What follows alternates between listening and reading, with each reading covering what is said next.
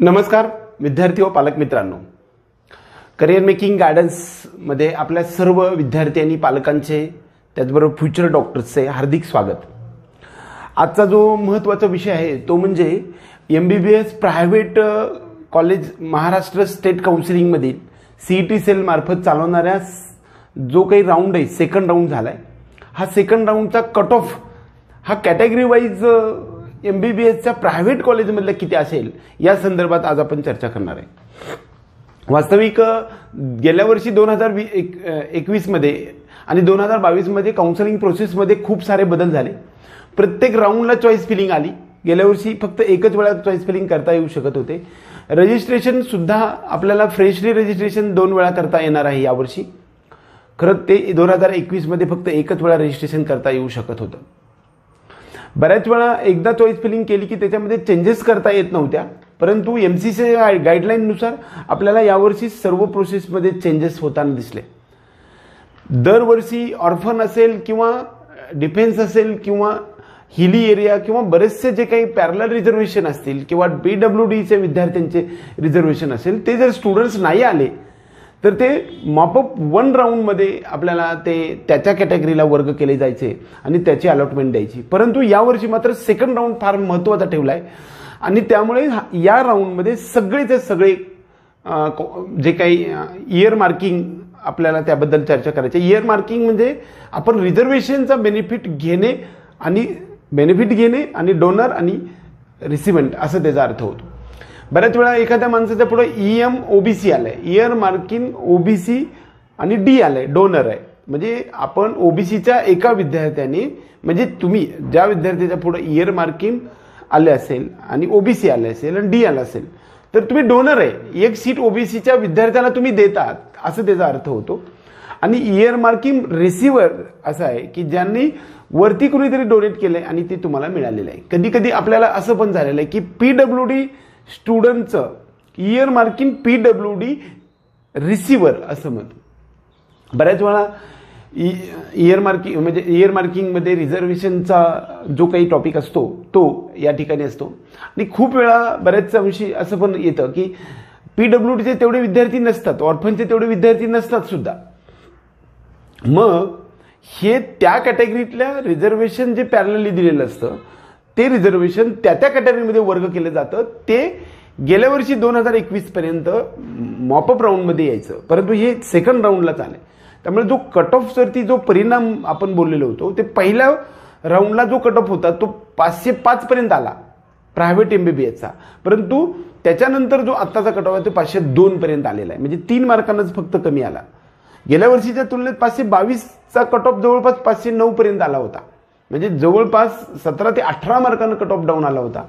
परंतु त्यामध्ये बरेचसे कॉलेजेस पहिल्या राऊंडमध्ये अलॉट झालेले नव्हते आणि नंतर अलॉट झाले त्याचबरोबर नवीन कॉलेजेस आले. त्यामुळे तो कट ऑफ ड्रॉप होत होतो पाचशे पाचपर्यंत आला होता. परंतु यावर्षी मात्र सगळेच कॉलेज पहिल्या राऊंडमध्ये आले आणि परत काही चेंजेस झालेच नाही. त्यामुळे पहिल्या राऊंडलाच पाचशे पाच जरी मार्क्स असतील तरी सुद्धा तुम्हाला कट ऑफ आलेला तेवढ्यापर्यंत आलेला होता. सेकंड राऊंडमध्ये फारसा कट ऑफमध्ये चेंजेस आला नाही. अगदी एक दोन ते तीन मार्काचा आलाय. तर तेच त्या संदर्भात आज आपण चर्चा करतोय. तर M B B S private कॉलेजेसमध्ये कॅटेगरी वाईज सगळ्यात लास्ट कॅडमिटेड कॅन्डिडेट किती मार्क्स कोणत्या कॅटेगरीचा होता? आणि ते कोणत्या कॉलेजमध्ये झालंय? त्या संदर्भात आज आपण चर्चा करणार आहे. ओपन कॅटेगरीचा विचार करायला गेलं तर सहा हजार तीनशे साठ एवढा ज्याचा एस एम एल आहे. आणि ब्याऐंशी हजार चारशे नव्याण्णव ज्याचा ऑल इंडिया रँक आहे. आणि ज्या विद्यार्थ्याला पाचशे तीन मार्क आहेत इथपर्यंत असणारा शेवटचा last candidate doctor N Y Tasgaonkar Karjat या ठिकाणी ॲडमिशन त्याला मिळाले अलॉट झालेलं आहे. ओबीसी कॅन्डिडेट कॅटेगरीसाठी सहा हजार चारशे अठ्ठावीस आणि त्याचा जो ऑल इंडिया रँक आहे तो त्र्याऐंशी हजार चारशे तीन आणि त्याचे मार्क्स जे आहेत ते पाचशे दोन. आणि हा सुद्धा विद्यार्थी डॉक्टर एन वाय तासगावकर या कॉलेजमध्ये कर्जत या ठिकाणी ॲडमिट त्याला अलॉटमेंट झालेलं आहे.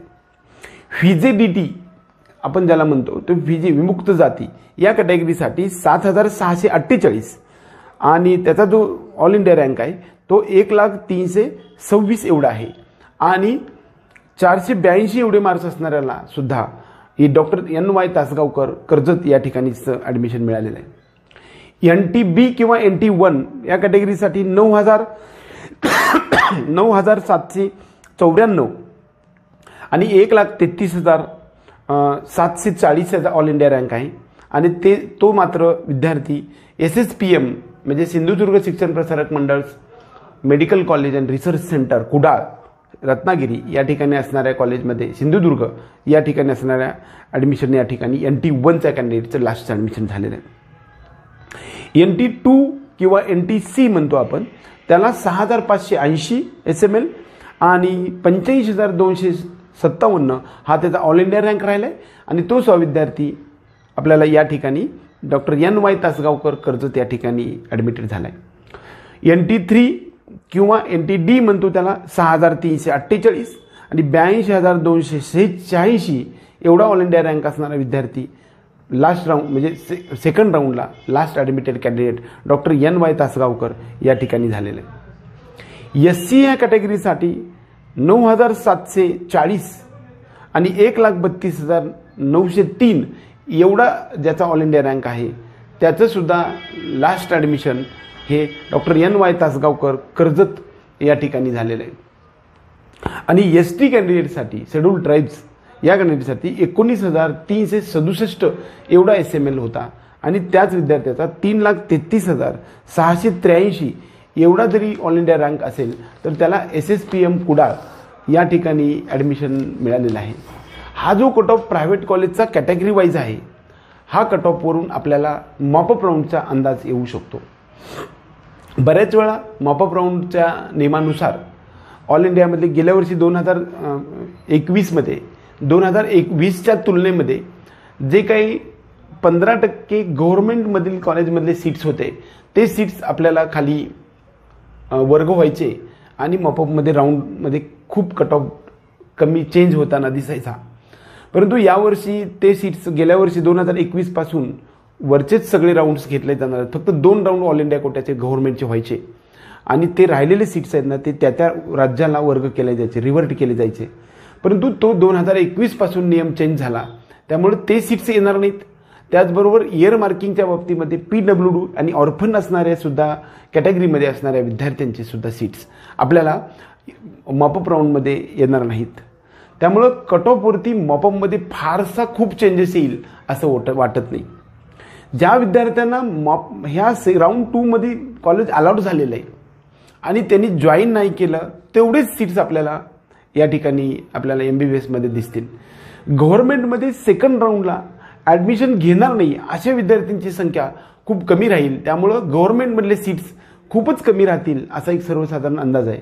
परंतु प्रायव्हेटमधील मात्र प्रत्यक्षात कॉलेजवर जाताना त्याची फीजचा डिमांड ड्राफ्ट काढताना तेवढी फीज नसता नसल्या कारणाने कदाचित पन्नास ते शंभर एवढे विद्यार्थी टोटल महाराष्ट्रामधून सीट्स दोन हजार बावीसमध्ये मॉपअप राऊंडला राहतील. आणि त्याचा इफेक्ट म्हणून एक आपल्याला दोन ते तीन मार्काचा इम्पॅक्ट येऊ शकेल आणि मॉपअप राऊंडमध्ये आपल्याला इम्पॅक्ट राहील असं मला एकंदरीत वाटतंय. जनरली सी ई टी सेलमार्फत चालणाऱ्या round टूचा category wise M B B S प्रायव्हेटचा जो काही आत्ताचा जो सांगितलेला कट ऑफचा जो जो काही कट ऑफ पाहिला आपण हा व्हिडिओ जर आपल्याला आवडला तर व्हिडिओला लाईक करा. त्याचबरोबर आपल्या चॅनलला सबस्क्राईब जरूर करा. एवढंच या निमित्ताने. जय हिंद जय महाराष्ट्र.